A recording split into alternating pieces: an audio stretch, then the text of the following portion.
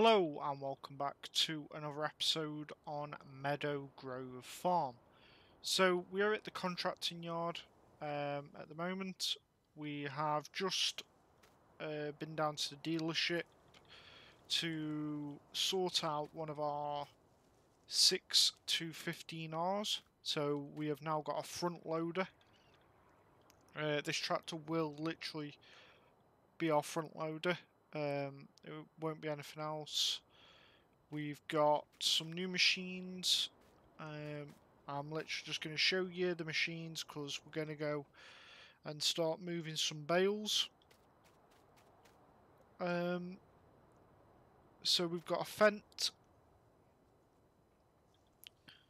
a Fendt 939 uh, with a set of disc harrows. We've got two, well we had that one, we've now got a second JCB 435S. Um, but yeah, um, the big M's in there. We've brought another two trailers for uh, silage.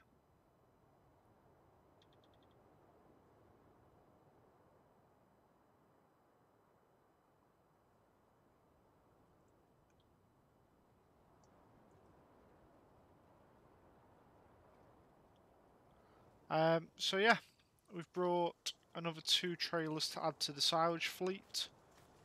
Um, we've brought a Fendt 724. We've also brought one of these, a van, uh, for doing all the repairs. Um, so yeah, let's go jump in the front loader. Well, not the front loader. Yeah, the front loader. And we will, uh, not in the JCB, in the John Deere. So yeah, we are going to go move some bales at our third farm. Uh, well, it's the second farm that the family own, but it's the third farm that we own. Um,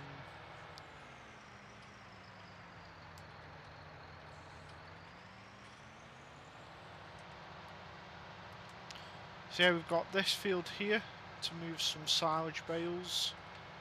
Um,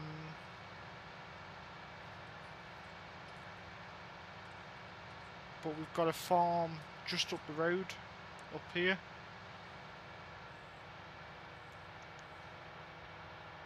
Um, I need to, I think there's three bales up here that we just need to put in the yard.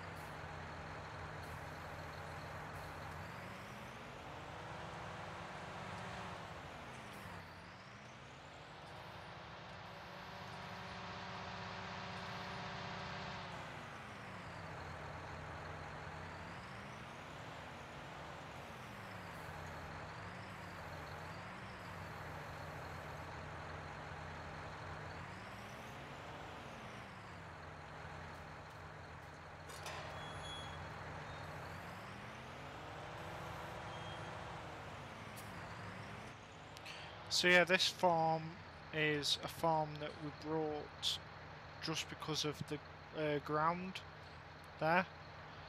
Um,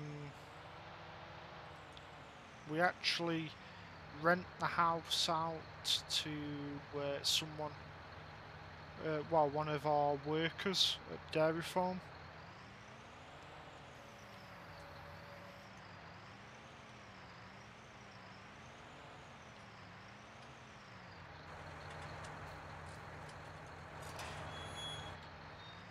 So we're going to stack the silage bales that are near the dairy farm. We're just going to stack them in the field.